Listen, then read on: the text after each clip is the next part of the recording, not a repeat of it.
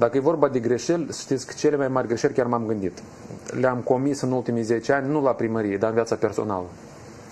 Și asta mă doare mai tare. Yeah!